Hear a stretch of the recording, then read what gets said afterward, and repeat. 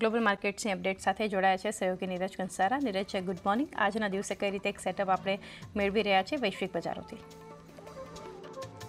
જી good morning ચાંદની અને આજના દિવસે જો આપણને અમેરિકાના બજારોથી તો થોડાક પોઝિટિવ સંકેતો મળી રહ્યા છે, કારણ કે ગઈકાલે ફરી એક વખત આપણને નાસ્ડેક અને એસએનપી ફાઇવ હંડ્રેડ બંનેની અંદર એક રેકોર્ડ ક્લોઝિંગ ગઈકાલે જોવા મળ્યું હતું.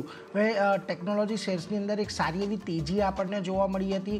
એને કારણે જે નાસ્ડેક છે, એની અંદર એક આપણને નવા શિખર પર ક્લોઝિંગ આવતું જોવા મળ્યું અને ખાસ કરીને એને જ કારણે જે એસએનપી ફાઇવ હંડ્રેડમાં પણ છે, એક સારી એવી તેજી આવતી જોવા મળી.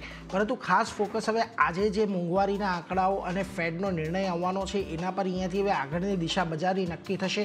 કારણ કે જો આજના દિવસે અમેરિકાના જે સીપીઆઈના આંકડા છે, એ પણ આવવાના છે. એની સાથે જ યુએસ ફેડની બેઠકની બેઠક ચાલી રહી છે. એનો પણ નિર્ણય આજે આપણને જાહેર થતો દેખાશે. એટલે આ બંનેના જે બંનેના જે આંકડાઓ આવે છે કે જે ફેડનું એક્શન આવે છે એના પર અહીંયાથી હવે બજારની આગળની દિશા આપણને નક્કી થતી દેખાશે. જોકે એની સાથે આજે ભારતના પણ સીપીઆઈ અને ઇન્ડસ્ટ્રીયલ પ્રોડક્શનના આંકડા આવવાના છે, એટલે એના પર પણ એક ખાસ તો આપણું ધ્યાન રહેશે. પરંતુ ગઈકાલે જુઓ, ખાસ કરીને નાસ્ડેકમાં તેજી ક્યાંથી આવી, તો એક એપલના શેરની અંદર આપણને સારી એવી તેજી જોવા મળી. ગઈકાલે એપલે પોતાની એક નવી એઆઈ લોન્ચ કરી છે અને એ એઆઈની લોન્ચ બાદ લગભગ સાત ટકા જેટલો શેર ગઈકાલે વધતો દેખાયો અને નવા શિખર પર પહોંચ્યો. અને એ જ એક મુખ્ય કારણ રહ્યું કે જેને કારણે આપણને ખાસ કરીને નાસ્ડેકની અંદર એક નવા શિખર પર કામકાજ થતું જોવા મળ્યું. પરંતુ બીજી તરફ જોઈએ તો આપણને ક્રૂડ પર પણ એક નજર કરી લઈએ, કારણ કે ઓપેક એ ક્રૂડની આવનારા સમયની માંગ માટેના અમુક અનુમાનો જાહેર કર્યા છે. ઓપેકને બે હજાર ચોવીસમાં માંગ વધવાની આશા છે.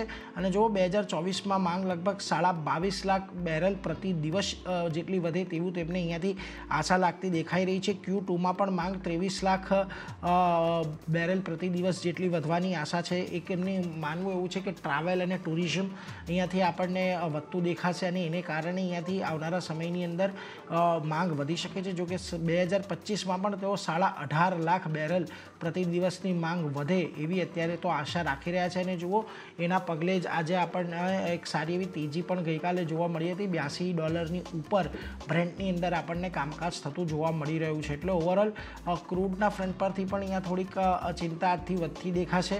અને ખાસ મહત્ત્વનું આજે ડોલર ઇન્ડેક્સ અને રૂપિયો પણ આપણે નજરમાં રાખવાનો છે, કારણ કે ગઈકાલે આપણે રૂપિયાનું જે ક્લોઝિંગ છે એ એક નવા શિખર પર જોયું હતું, ત્ર્યાસી પોઈન્ટ ઓગણા ઓગણસાઠની આજુબાજુ. એટલે એની પણ એક અસર આપણને જોવા મળશે. પરંતુ આજના દિવસે જુઓ, એશિયાના બજારોમાં આપણને થોડોક મિશ્ર કારોબાર જોવા મળી રહ્યો છે. નિક્કેઈ શાંઘાઈ હેંગસેંગ અહીંયા થોડુંક દબાણમાં કામકાજ કરી રહ્યું છે. તો બીજી તરફ, કોસ્પી, તાઇવાન અને સ્ટ્રેટ ટાઈમ્સ પણ આજે થોડુંક મિશ્ર કારોબાર આપણને બતાવી રહ્યા છે. પરંતુ આ બધાની વચ્ચે ખાસ કરીને નિફ્ટી, ઇમ્પ્લાઇડ, ઓપન પર નજર કરી લો તો ગઈકાલે આપણે જે ક્લોઝિંગ જોવા મળ્યું હતું એનાથી લગભગ ત્રણેક પોઈન્ટ કે વીસેક પોઈન્ટની અત્યારે આપણને ખાસ કરીને નિફ્ટી ઇમ્પ્લાઇડ ઓપન એક ખાસ ઓપનિંગ દર્શાવી રહ્યું છે એટલે એના પર આપણું એક ખાસ નજર રહેવાની છે. પરંતુ આજના દિવસમાં પણ આપણને એવું જ લાગે છે કે જે પ્રકારના વૈશ્વિક સંકેતો બની રહ્યા છે, ભારતીય બજારમાં આજે પણ થોડુંક કન્સોલિડેશન જ આપણને જોવા મળશે. જી. જી